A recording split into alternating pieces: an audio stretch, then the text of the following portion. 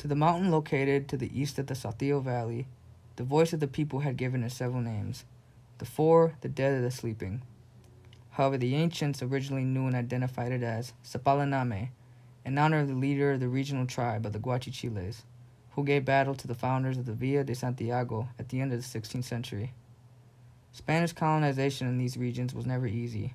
and even historians say that Saltillo was sometimes abandoned because of the resistance that the Guachichiles put up was so bold and reckless.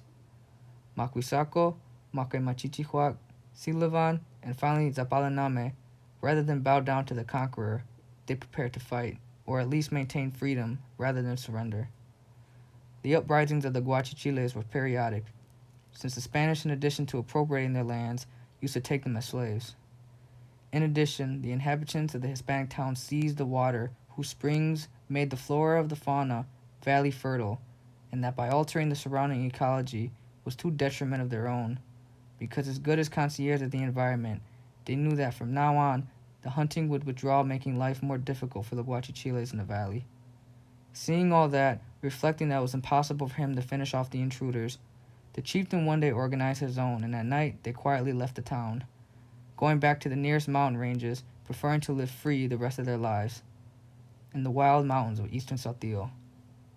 Legend has it that a few years later, the Caudillo died on top of them,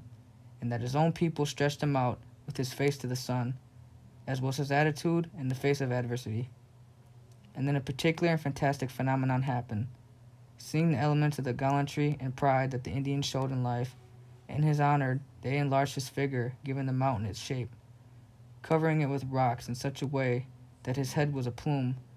his broad chest, his feet, his right arm, and his entire body stretched out, remaining as stone, forever and ever, until the consumption of time.